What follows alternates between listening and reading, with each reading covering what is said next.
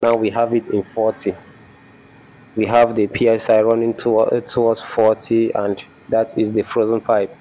If you have something close to what the system needs to run and dissipate cooling into the house you'll see that that defrosting pipe will just that frozen pipe will be defrosted so you see how I actually connect my pipe.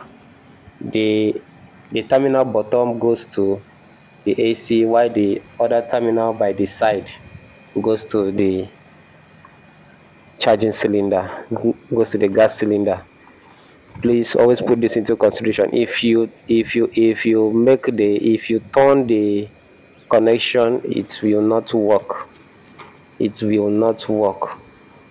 That is saying it has actually started defrosing but it has not fully done done its job well. So it has actually started defrosing that's to tell you that the gas is is is getting up there. It's almost to where it actually wants to start dissipating cool air into the house. The frozen pipe the frozen pipe will just defroze and everything will start cooling very well. Just observe how it works sure. Click the subscribe button. Click the like button.